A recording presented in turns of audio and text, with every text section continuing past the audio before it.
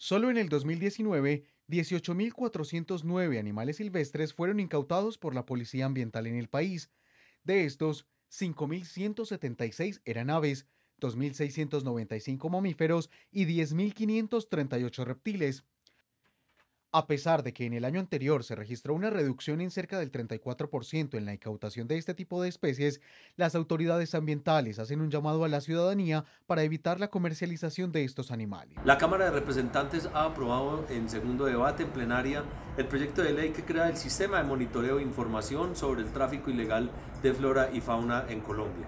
Es un delito que reza unas cifras escandalosas donde se habla de 19.000 a 20.000 en el año 2019 y hay años que llegan a picos hasta de 30 a 32.000 especies amenazadas entre aves, vertebrados y mamíferos. En el Valle de Aburrá, las autoridades ambientales continúan adelantando campañas de bienestar animal. Este proyecto de ley le va a entregar herramientas de monitoreo para tomar decisiones acertadas en un delito que repudiamos, que es escandaloso y queremos evitar que Colombia siga en ese fatídico segundo lugar a nivel mundial de ser uno de los países más violentos y que más eh, tráfico ilegal de eh, eh, flora y fauna tienen en Colombia. Desde el mes de junio hasta la fecha, el equipo de fauna silvestre del área metropolitana, Corantioquia y el operador Precodes han regresado a la libertad a 535 animales, 298 corresponden a reptiles, 139 son mamíferos y 98 son aves.